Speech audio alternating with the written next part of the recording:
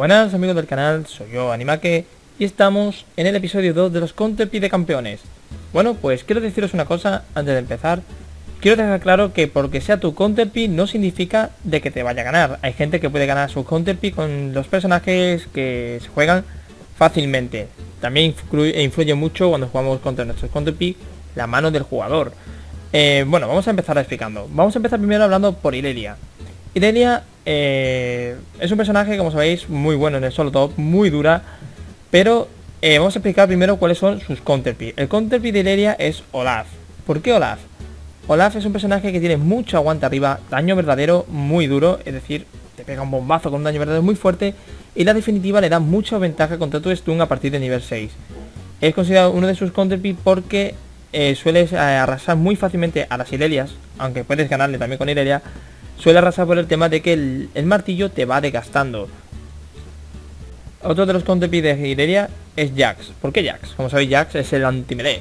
Este personaje tiene muy buenos stun, aunque también Irelia los tiene, pero Jax su definitiva le da mucha ventaja de combate gracias al aumento de armadura y de resistencia mágica, más en este hecho por la armadura física. También como sabéis Jax es un personaje que con la W puede romperte rápidamente la vida. También otro de los counterpies de Irelia es Udir. ¿Por qué Udir? Udir es un personaje que tiene muchas formas de juego, como sabéis, cuando Udir juega en, posición por, eh, tortuga, gana armadura y rápidamente se suele cambiar a oso y a tigre y golpearte rápidamente o en fénix. ¿Por qué exactamente Udir? Bueno, voy a explicaros el detalle. Udir tiene mucho más stun, mucho más daño, más rápido que Irelia y no suele aguantar tanto los combates Irelia. Puede ganarse un combate contra Udir, no se dice que no, pero el counterpick de ella es Udir. Udir, si lo ponéis en una línea de arriba, aunque pierde un poco de juego, contra una Irelia no tiene ningún problema. Ahora vamos a hablar del punto fuerte de Irelia. Como sabéis, los personajes que no pueden contra Irelia, uno de ellos es Gunplan. Gunplan, ¿por qué? Gunplan es un personaje que sí que tiene mucho escape, pero no puede aguantar al daño brusco de Irelia, a la, acosación de Irelia, porque Irelia es un personaje que acosa mucho a sus rivales y Gunplan es uno de los que no puede aguantar tanto en Irelia tenemos el siguiente personaje que puede ser fácilmente contrapiqueado que por Irelia, que es Vladimir. Vladimir, aunque penséis que no, tenga mucha distancia, Irelia, a partir del nivel 6, puede tumbar muy fácilmente a un Vladimir y darle la vuelta en la batalla. Como sabéis, Irelia es un personaje especializado para dar la vuelta en situaciones difíciles.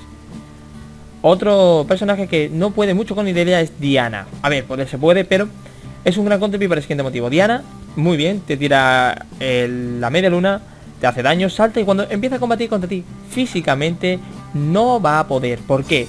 Como sabéis, Irelia es un personaje que cuando estás en una situación crítica, es decir, cuando el enemigo tiene más vida que tú, se le puede dar la vuelta al combate gracias también a su definitiva. Por eso quiero deciros de que Irelia puede con una Diana y es un buen counterpick. Ahora hablamos de Kennen.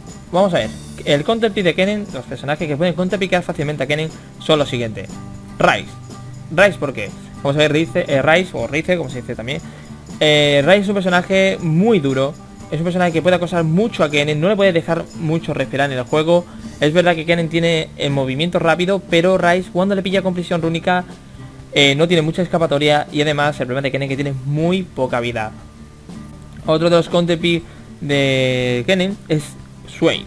¿Por qué Swain? Swain, como sabéis, es un personaje que tiene mucho acoso también por el tema de la E y la Q. Con la E y con la Q, Kennen empieza a bajarse muy rápido la vida y cuando te agarra Swain y a partir de nivel 6 con su pájaro no vas a poder combatir tan fuerte porque cuando está en pájaro y los tuneas da igual, sigue haciendo daño si estás cerca de él. Uno de los personajes más difíciles de vencer con Kennen. Otro de los counterpick que sabéis es LeBlanc. Como sabéis, LeBlanc es un personaje que tiene mucho daño explosivo, un silencio, tiene escape, tiene tantas cosas que a Kennen le cuesta mucho combatir contra ella. Tenemos que tener en cuenta de que LeBlanc es uno de los antimagos más potentes que hay en el juego. ¿Qué personaje puede ser contrapiqueado por Kennen? Es muy fácil. Uno de ellos es Katarina. Katarina no tiene tanta posibilidad de ganar a un Kennen por el siguiente motivo. Kennen tiene su habilidad de stuns y cuando Katarina tira su definitiva, él rápidamente puede cortárselo con el stun. Además, como sabéis, Katarina en una la teamfight, perdón, cuando tira ella su definitiva, cuando Kennen también la tira, aturde a todo lo que está en área. Como sabéis, cuando se activa las, tres, las tres cargas, se aturde. Entonces Katarina no puede tan fácilmente contra Kennen. Es un buen counterpick. Otro de ellos es Cartus. Cartus, ¿por qué? con Kennen, con los Shuriken, podemos estar acosando a Karthus ya que él tiene maná y tú no, ¿vale? Tú usas energía. Y Karthus cuando tú te tiras encima de él no le da tiempo a reaccionar tan rápido como tu personaje. Kennen es muy bueno contra Karthus, lo que el problema es cuando estés a baja vida que Karthus te puede tirar una ulti. Pero mientras no esté la situación así, tú vas a ser el perfecto counterpick. Otro personaje que le puedes hacer counterpick sería Ari. Ari, aunque tenga mucho movimiento y sea un personaje asesino, Kennen tiene más. Kennen tiene el acoso de los shuriken, tiene los rayos para joderla bastante tiempo. Y como sabéis, es bastante bueno Kennen contra Ari por el siguiente motivo. Ari tiene una definitiva que son los saltos, pero cuando tú vas detrás de ella con la bola y le tiras tu definitiva, puedes cortarle el rollo y matarla rápidamente. Ahora, por último, hablamos de Malzahar. Vamos a saber los counterpies de Malza. Como sabéis, Lux es uno de ellos por el siguiente motivo. Lux con el escudo puede aguantar a las visiones maléficas de Malza, la E. Además de que Lux tiene mucho rango, es una personaje muy buena acosando y te da mucha ventaja contra Malzahar. Eh, también quiero deciros de que Lux tiene una definitiva mucho más buena que la de Malza porque cuando está más lejos y tienes la pasiva suya, te revienta. No puedes aguantar tanto contra una Lux. ¿Se puede ganar una Lux? Sí. Les vuelvo a repetir que los counterpies están hechos para que sepas que, te, que tu enemigo tiene más ventaja sobre ti. Otro counterpick de Malzahar es Galio.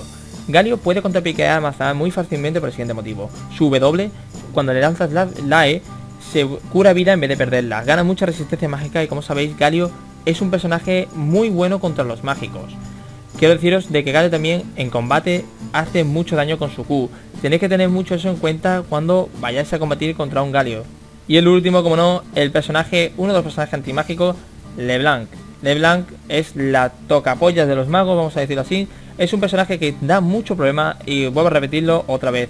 Tiene un daño explosivo. Malzahar no le da tiempo a combatir rápidamente contra LeBlanc. LeBlanc tiene un combo muy bueno que es salta, tiro Q, tiro definitiva, explotas, automáticamente explotas porque es una puta burrada lo que quita y me escapo. Como sabréis, LeBlanc es un buen counterpick. Ahora, ¿cuáles serían mm, personajes que pueden ser contrapiqueados por Malzahar? Uno de ellos, Katarina. ¿Por qué Katarina? Mm, Katarina, aunque ella se tire muy agresivo contra ti, tú le vas a estar desgastando toda la línea con tu, con tu E, con las visiones maléficas. Voy a decir la E por la que hay gente que no juega en español. Y puedes estar eh, desgastándolo. Además, cuando estáis a partir de nivel 6 y él empieza a ser brusco contra ti, si te tira la definitiva y tú no la tuvieras, puedes silenciarlo con la Q. Puedes cortarle su definitiva. Y además, como sabéis, por último quiero añadir que si ponéis la W, la E y le tiráis la definitiva, Katarina no tiene tanto aguante contra ese daño. Otro personaje que puedes contrapiquear con Mazahar sería a Vladimir. ¿Por qué a Vladimir? Vladimir puede ser contrapiqueado por Mazahar por el siguiente motivo. Vladimir, los hechizos que usa, gasta vida. Tú con la E puedes ir desgastándolo e impidiendo que se cure. Además de con tu silencio puedes darle la vuelta a la partida. Te, os recomiendo muchísimo que Malzahar es muy buen counterpick de Vladimir. Y por último tenemos a Ari. Otra vez Ari me diréis. Bueno sí, ¿por qué? Ari tendrá mucho salto, tendrá la seducción, pero Mazahar tiene una cosa que no tiene Ari. Mucho daño en poco tiempo. ¿Por qué? Con las visiones maléficas vamos desgastando, pero cuando vamos a entrar el momento de verdad que ella tira su salto, tú con tu definitiva puedes cortarle el rollo. Tiras la W, la E, la definitiva y Ari no tiene oportunidad de supervivencia. Con esto le daremos la vuelta a la partida. Pues bueno amigos del canal, espero que haya gustado este episodio 2 de, eh, de de los campeones. Y bueno, como siempre, espero que le deis a like si os ha gustado, espero que os sirva los counterpick, se harán de todos los campeones, recordad que quiero deciros de que un counterpick no significa de que te vaya a dar la victoria, cuenta también mucho la jugabilidad de cada jugador. Bueno, pues como siempre, muchas gracias por verme y un saludo.